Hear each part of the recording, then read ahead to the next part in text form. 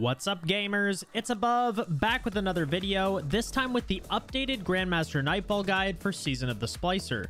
I've seen a lot of people struggle with this GM, but with the strats I'll be sharing in this video, we were getting consistent 12 to 15 minute clears.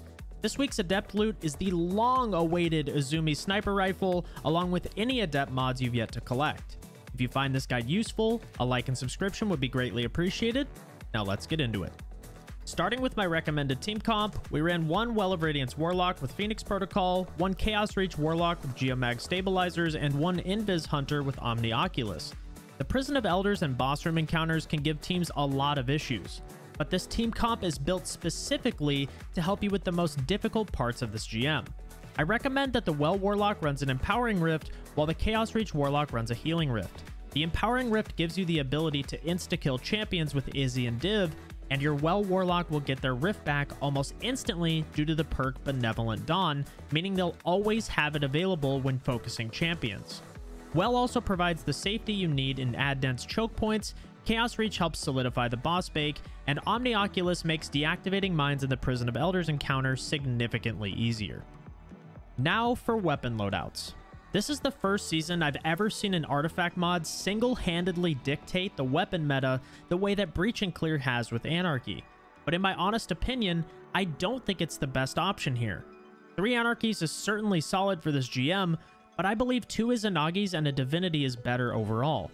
This combo absolutely bakes champions in the final boss, while Divinity remains the most consistent source of overload stun in the entire game.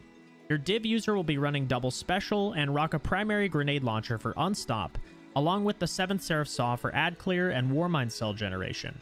Your two Izanagi users will be running two anti-barrier scouts, as they are the most prominent champion type in this Nightfall. I recommend pairing Izzy with lasting impression rockets for an easy boss bake. Void is the only shield type that makes an appearance in this Nightfall as long as you kill the boss quickly. As for key armor mods, you'll need Anti-Barrier Scout and Unstoppable GL, while Divinity is your primary overload stun. Your Chaos Reach Warlock will be rocking Surge Detonators as a backup source of overload, while your Hunter will be using Unstoppable Schwarzschild Condenser as a backup source of unstop from their smokes. This will cover all three champion types that are present in this Nightfall. The Hunter should also be using Special Finisher to keep your team stocked up on special ammo, and Reactive Pulse to give them a powerful overshield when finishing. I also recommend taking charge and protective light for a 50% damage resist when your shields are broken, rocket finders and scabs to help with heavy ammo economy, and solar resist and concussive dampener to prevent getting one shot by snipers and incoming grenades. Jumping right into the Nightfall, as you enter the first room, throw down an Empowering Rift and apply Div to the Overload champion directly across from you. This is the only enemy you need to kill in this room, so head left, smoke your teammates, and skip the remaining ads by using the pipes on the left-hand side of the room. Resmoke your team before jumping up, and we're moving on. In the next area, simply keep an eye out for the oncoming trains, and when jumping down, be sure to kill Gerald the Lonely Goblin on the right-hand side. It seems silly to even mention it, but it will absolutely nuke you off your Sparrow if left alive. When you reach the jump down, kill the Yellow Bar Goblin, then focus the Hydra around the corner to the right. There will also be an unstop at the top of the ramp, so use your smokes or primary GL to stun and then sauce them. I recommend getting finishers on the two remaining ads before crossing the train tracks. Keep an eye out for the trains as you cross, then take out the barrier in front of you. Use the train track rails on the left-hand side to push forward, as there are no ads on this side of the arena. As you jump down, use the explosive barrels to take out the ads in front of you, then focus the unstop.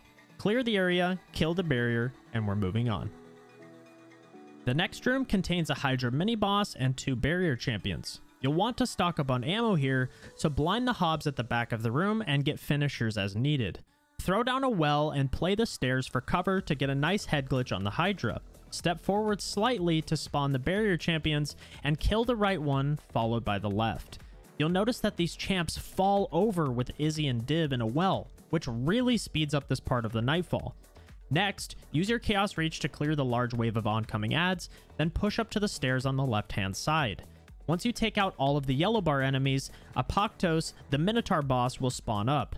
Izzy, Div, and Lasting Impression rockets absolutely bake this guy, so once he dies, the remaining ads will despawn, and we're moving forward.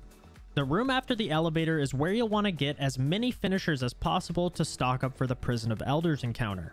Use blinding and healing nades to your advantage as your hunter performs finishers. This is also where reactive pulse comes in handy as you'll have a powerful overshield the entire time. Then focus the two unstoppable champions in front of you. Once dead, head left and smoke your team to skip the remaining ads. Re-smoke in front of this pillar, and we're moving on to the Prison of Elders encounter. Teams typically struggle here due to the number of champions you have to kill and the pace that's required to deactivate all three mines within the time limit. However, our strat makes this room a breeze.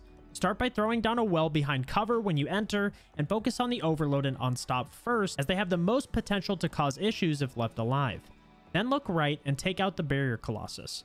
The remaining two barrier hobs aren't too difficult to deal with, so clear ads and get finishers on the barriers if needed. When the last enemy dies, the A cap point will activate. Though we like to play near the center of the room, you do not want to start defusing the A mine just yet. Ads will start to spawn out of the doors to your right and left, so pop a well and spawn kill the ads out of both doors, then focus the barrier champion to your right. Once dead, focus the unstop that spawns near the B cap point. It is at this point that you can defuse the mine on A. Once the mine is defused, it triggers the spawn of an overload champion on the bridge in front of you. Throw down an empowering rift and insta-kill it. Then have your two warlocks head left to capture B, while your Omnioculus Hunter heads right to solo cap A. This exotic allows you to remain invisible for the duration of the cap point without having to kill a single ad. Once all three mines are defused, head to the platform at the back right hand side of the room to safely bake the Cabal mini-boss. Once dead, all of the ads will despawn, and you're free to search for ammo before heading to the boss room. The elevator is a bit wonky, so make sure your team staggers their jumps to avoid architecting your teammates. When you reach the bottom of the elevator, throw down an empowering rift and kill the overload champion. Jump down, take out the unstop, then focus on the barrier colossus to your right, as this champion is far more lethal than the hobgoblin. Get a finisher on the final two champions to stock up on ammo for boss DPS, then pop a well behind the pillar on the right near where you entered. Izzy Rocket hot swaps absolutely bake this boss. Once you've each shot a couple quad rounds and rockets, have your Chaos Reach pop their super to finish off the remaining health bar, making the Warden of Nothing Grandmaster a GG. If you found this guide useful, a like and subscription would be greatly appreciated. I also stream GM helps at twitch.tv slash above, so feel free to swing on by the stream. That's it from me. Thank you so much for watching, and I'll catch you next time. Peace!